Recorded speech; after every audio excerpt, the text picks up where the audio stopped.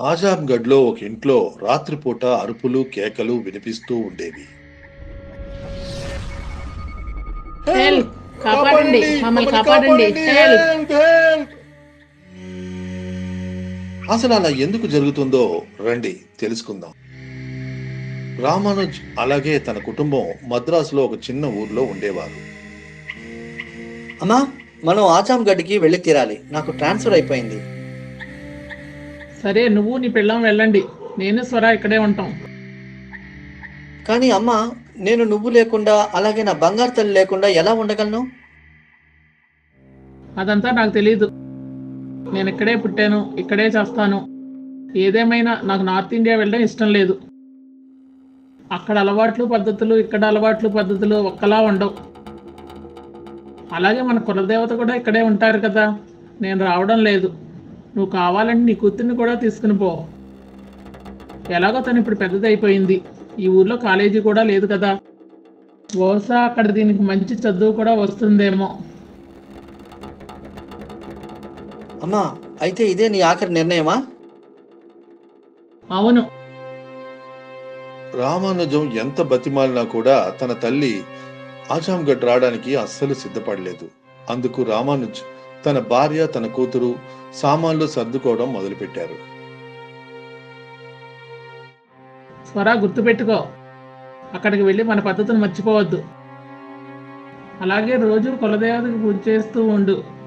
లేదా ఆవిడకి కోపం వస్తుంది. మన కులదేవత కోపాన్ని తగ్గించడం చాలా కష్టం. అలాగే నానమ్మ. ఆ మరుసటి రోజు రామానుజ్ తన భార్య కూతుర్ని తీసుకొని ప్రభుత్వ వాహనంలో బయలుదేరి వెళ్ళిపోయాడు. కానీ వాళ్ళకి మాత్రం ఏం తెలుసు? వాళ్ళకి అసలు ఏం జరగబోతుందో? వాళ్ళు పాపం చాలా సంతోషంగా ఉన్నారు. ఎంత బాగుండేదో కదా. నానమ్మ కూడా మనతో వచ్చుంటే. నీకు నానమ్మ గురించి తెలుసు కదా. నేను ఎంత సర్ది చెప్పాను? కానీ ఆవిడ ఒప్పుకుంటేనే కదా. పోనీలే నువ్వు ఒకటే గుర్తుపెట్టుకో. మనం వీలైనంత త్వరగా ఆ ఊర్లో వాళ్ళతో బాగా కలిసిపోవాలి. నాకు తెలుసు. అలాగే మీరు స్వర కోసం మంచి కాలేజీ కూడా వెతకాలి కదా. దాని గురించి నేను నా కొలీగ్తో చెప్పించాను మనం చేరుకోగానే స్వరాని మంచి కాలేజీలో అడ్మిషన్ చేయిస్తాడు. రామానుజ్ ఇంకా తన కుటుంబానికి అజాంగఢ్ చేరుకునేసరికి చీకటి పడిపోయింది. వాళ్ళు కారు నుండి దిగేసరికి వాళ్ళు చంద్రుడిని చూసి నమస్కారం పెట్టారు. అప్పుడే తన ఆఫీస్ కొలీగ్ అక్కడికి చేరుకున్నాడు. మీ ప్రయాణం ఎలా జరిగింది? బాగా జరిగింది. ఏదో కాస్త అలసటగా ఉంది. మీరు ఇప్పుడు కారు నుండి దిగ్గానే ఎవరికి నమస్కారం పెట్టారు? ఓ అదే. అది మా కల్చర్లో చంద్రుడికి కూడా నమస్కారం చేస్తాం. ఎలా అయితే పొద్దుటే సూర్య భగవానుడికి చేస్తామో అలా. ఓ అలాగా. అని కాస్త వింతగా లేదా? చంద్రుడికి నమస్కారం పెట్టడం? మా వైపు అందరూ చేస్తారు. అందుకే మాకు మాత్రం ఇది మామూలే. సరే వివేక్ రేపు పొద్దుట ఒక పంతులు గారిని పిలిపించు. ముందుగా ఇంట్లో కులదేవత విగ్రహాన్ని ప్రతిష్ఠించాలి. అలాగలాగే దాని గురించి పంతులు గారికి ముందే చెప్పాను. ఆయన పొద్దుటే ఆరింటికే వచ్చేస్తారు. అప్పటిదాకా మీరంతా విశ్రాంతి తీసుకోండి. నేను భోజనం కూడా టేబుల్ మీద పెట్టించేశాను. థ్యాంక్ యూ వివేక్ మంచి పని చేశావు. వివేక్ అక్కడి నుంచి వెళ్ళిపోయాడు. రామానుజ్ తన కుటుంబంతో కలిసి ఆ ఇంట్లోకి వెళ్ళిపోయాడు. ప్రయాణం కారణంగా వాళ్ళకి బాగా ఆకలి వేసింది. అందుకే వాళ్ళు ఫ్రెష్ అవగానే తినడానికి భోజనం తిన్నగా భోజనానికి కూర్చున్నారు. అమ్మ దోశ లేదా? స్వర ఇది నార్త్ ఇండియా తల్లి. ఇక్కడ డిన్నర్కి దోశలు తినరు. కానీ మనం తింటాం కదా. నువ్వు ప్రస్తుతానికి చపాతీ కూర తినేసేయ్. రేపు నేను నీకు దోశలు వేసి పెడతాను. సర్వాకి ఇష్టం లేకపోయినా చపాతీ కూర తినాల్సి వచ్చింది. ఆ తర్వాత వాళ్ళు వారి వారి గదుల్లోకి వెళ్ళి నిద్రపోయారు. మరుసటి రోజు పంతులు గారు వచ్చారు కులదేవత విగ్రహాన్ని ప్రతిష్ఠ చేయడానికి.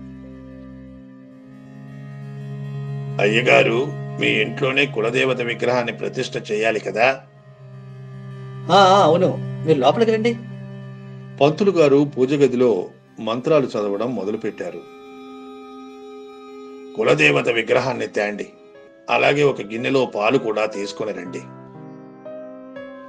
రామానుజ్ భార్య ఒక పాత్రలో పాలు తీసుకొని వచ్చింది.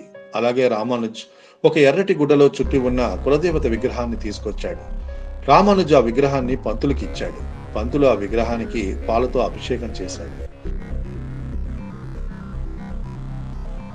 ఇలాంటి విగ్రహాన్ని నేను మొదటిసారి చూశాను. ఇది ఏ దేవత విగ్రహం? ఇది రుద్రభైరవి విగ్రహం. రుద్ర భైరవి మూర్తిని ఎక్కువగా మంత్రగాళ్ళు అఘోరీలు పూజిస్తారు కదా. లేదు లేదు పంతులు గారు మా ఊర్లో అందరూ రుద్రభైరవినే పూజిస్తూ ఉంటారు.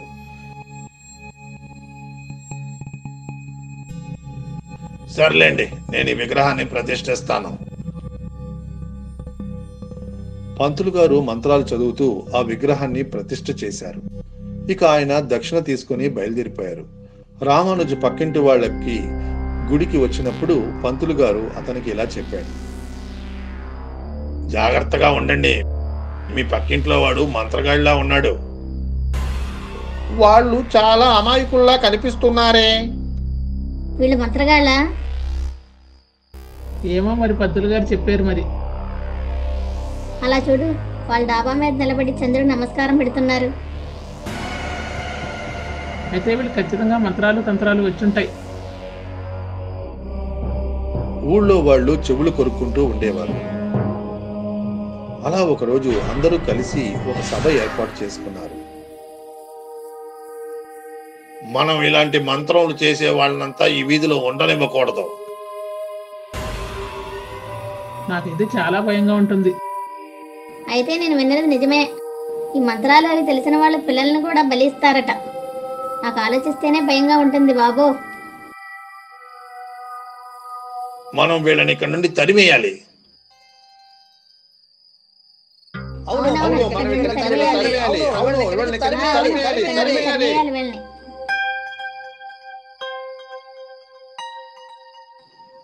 వాళ్ళంతా ఒక గుంపుగా మారి అందరూ రామానుజుడికి చేరుకున్నారు.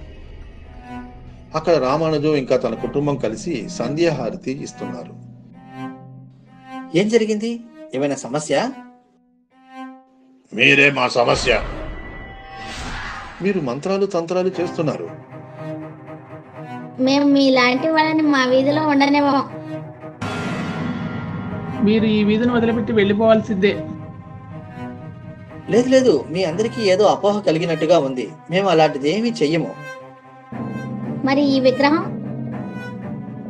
ఇది మా కులదేవత రుద్రభైరవి విగ్రహం. ఈవిడ భూతాల దేవత కదా? అవును కానీ ఈవిడ మా కులదేవత ఊళ్ళో వాళ్ళంతా రామానుజం కుటుంబాన్ని కొట్టడానికి వచ్చేటప్పటికి పొరపాటున రామానుజు భార్య బయటకి దీపం నిప్పు అంటుకుపోయింది. కాపాడండి కాపాడండి. రామానుజం కాపాడడానికి వచ్చాడు కానీ హడావిడిలో రెండు దీపాలు కింద పడిపోయాయి. దాంతో బాగా నిప్పంటుకుంది అందులో రామానుజం ఇంకా తన కుటుంబం కాలిపోయింది. మమ్మల్ని కాపాడండి.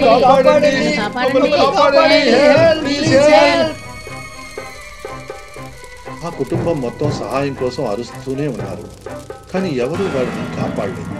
అందరూ తమ ప్రాణాలు కాపాడుకోవడానికి అక్కడి నుండి పారిపోయారు. ఆ రోజు నుండి ప్రతి రాత్రి ఆ ఇంటి నుండి అరుపులు కేకలు వినిపిస్తూ ఉంటాయి. పొరుగింటి వాళ్ళకి రాత్రిపూట ఆ ఇంటి చుట్టుపక్కల తిరిగే ధైర్యమూ లేదు. ఇక ఆ ఇంటిని దెయ్యాల కుటుంబం ఉండే ఇల్లు అనే పేరుతో పిలవడం మొదలుపెట్టారు. ఇవాళ కూడా రామనుజన్ కుటుంబం రోజు ఆ నిప్పుల్లో కాలుతూనే ఉంటారు.